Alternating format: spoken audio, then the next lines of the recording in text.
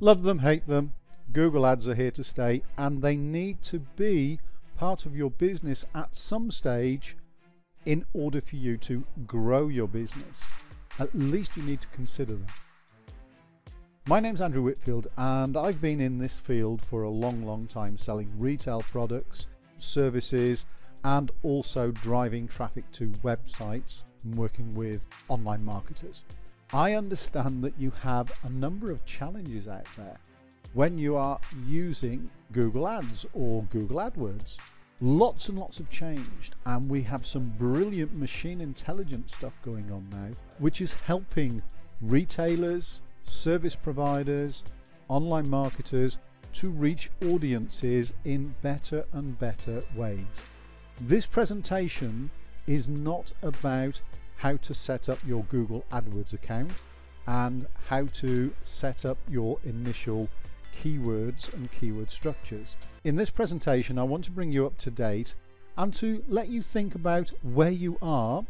If you're a startup, this is a brilliant place to be because you can make it all work for you from the very beginning and be current and relevant. If you're an existing business owner and you've had a website for one year, three years, 10 years, but you've only done minimal upgrades to it, then you need to decide what you want to do next because your website is probably going backwards because you are out of date with all the new things that Google has introduced to help drive your business forward. Most of you have challenges which are either time poor or you just so busy dealing with your business you know your craft you know your business you understand the daily requirements to run that business and make a return and a profit that you don't have resources time money to spend more time running very good and effective campaigns through Google, YouTube, Facebook, and Instagram. If you are in a business that has been up and running for quite a period of time and you haven't changed or adapted, then what I would first of all say is do not go and just jump in and start throwing money at Google AdWords and Facebook ad campaigns. Look at your website, stand back, and spend the next 30 days reviewing your site, its content, and its structure so that you know that you're mobile friendly, you're tablet friendly, you're desktop friendly, the speed of your website is bang up to date and running. Once you have assured yourself that your website is at the best it can possibly be, that is going to be good time and good effort and good money spent.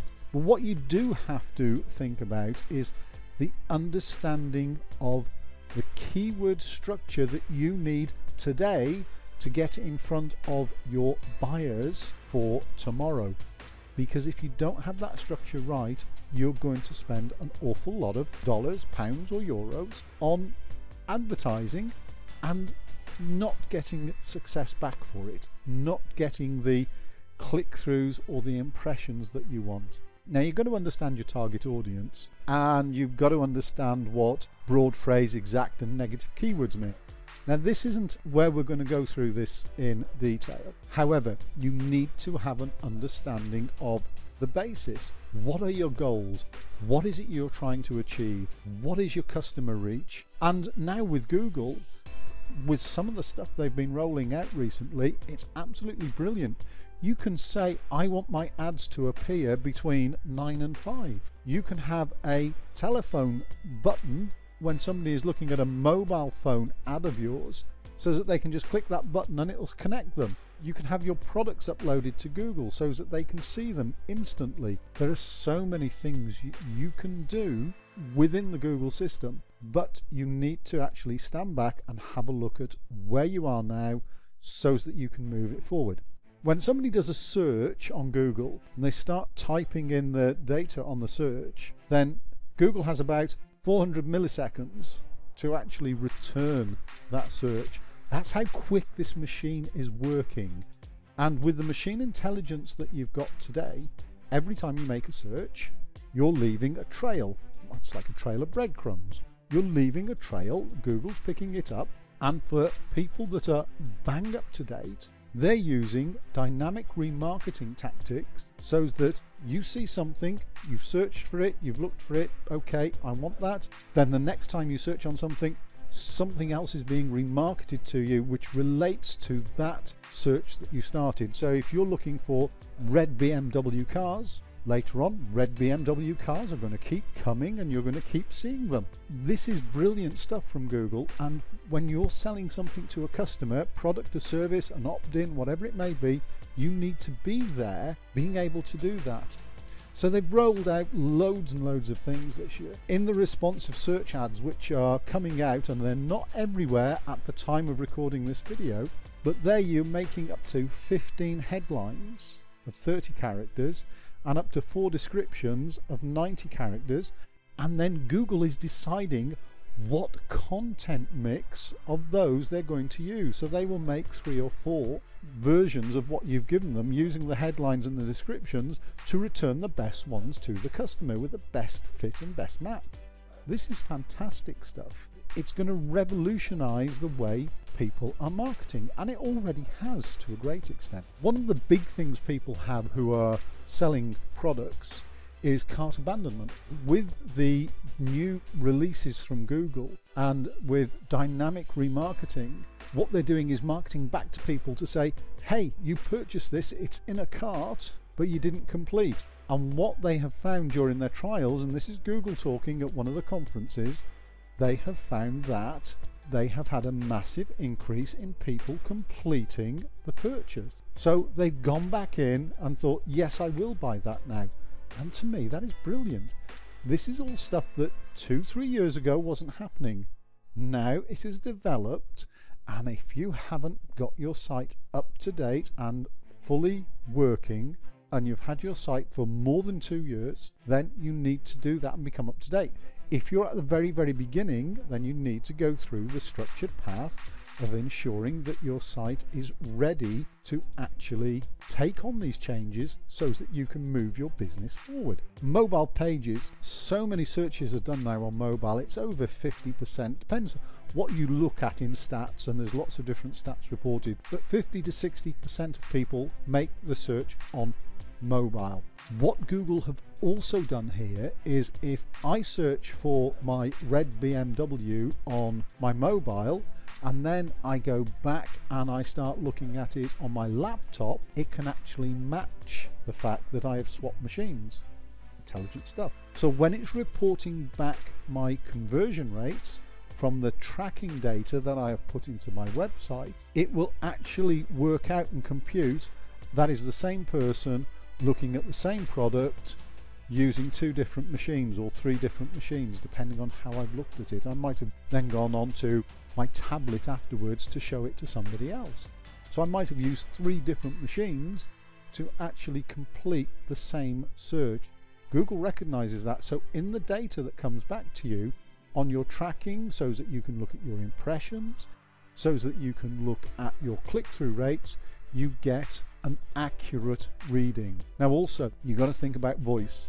Voice search is becoming bigger and bigger and bigger. So you've got to start thinking about voice search and the different words that I would use in making that search. So voice search for keyword strings is also becoming very, very relevant. There are some people that are saying that a large majority of searches are going to be done by voice as early as 2020.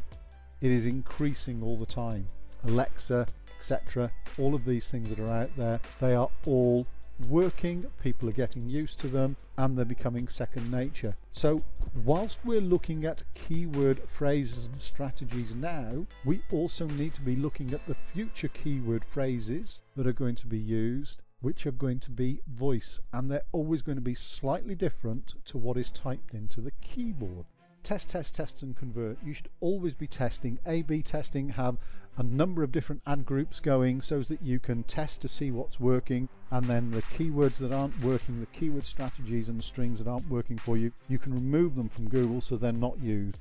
Google returns all this information for you. Their analytic reporting is superb, it's brilliant. But your website needs to be relevant, it needs to be content rich, it needs to have keywords and key phrases that are relevant. Photographs need to be titled. They don't just need to be one, two, three, four, five, six at the end. You need to have stuff in there that is showing what you want. If you're using desktop, laptop, tablet, mobile, your website needs to be all of those so that it will go on to whichever. It needs to work right. Fast loading speed. Speed, speed, speed. You have, and I have so many times looked and you see the spinning wheel of death and you're looking at it and you're looking at it and think, come on, come on, come on, and then you just press X. If your website is slow, you are going to get so much abandonment that you're not going to be able to get conversions. So many people have got really slow websites, and that is becoming a major, major, major, major problem for them in getting past their competitors. So you need to make sure that your websites are working properly. And you also need to be ensuring that your landing pages are tracked correctly within Google, that you are putting the tracking codes that Google give you in the right places in the HTML coding. This is all work, but if you do not do it, you're always going to get lower click through rates. You're not going to get as many impressions, but you may still be paying out lots of money on the wrong type of Google advertising. And this is the same for Facebook, Instagram, YouTube. You need to be precise in what you're doing. So, this is where we come in and we start looking at what it is that you're doing. We go back to the beginning, and that's what we've done with all our clients. We try to go back, we work on a 90 day plan and it's quite simple. The first 30 days is we're looking at the website. We're then looking at keywords. We're then looking at how you go forward. So you're putting it into structured boxes and moving things forward. You can do it, you can have other people doing it for you. There are outsources you can use, but on your websites, you need to have the call to action. The call to action is very, very important, but not only now. When you're searching on your mobile, you can have a telephone link there you can have a what is near me link there. You can have a contact you back button there. You can have a map there so that they're walking down the street. Right, where are you? Click on the map button and okay, it's there, right there. 500 meters, three blocks around the corner to the left. Fantastic stuff. These is this is where your website needs to be. This was a very quick overview to say, listen guys, this year and the last few months Google have rolled out some fantastic stuff. It is blowing the professional internet marketing guys away. They are really excited. All they can see is bigger returns on their investment. They just see it as being better and better. The interaction with the customer is getting better, it is getting faster, and the returns are becoming higher. So look at your website, consider where you are. If you're just starting out, get it in order first. If you haven't done anything on your website within the last two years, which is totally focused, then start focusing on it, get it working. There we are. That's me, Andrew Whitfield. Thank you very much for watching this very brief and short presentation on why use Google Ads.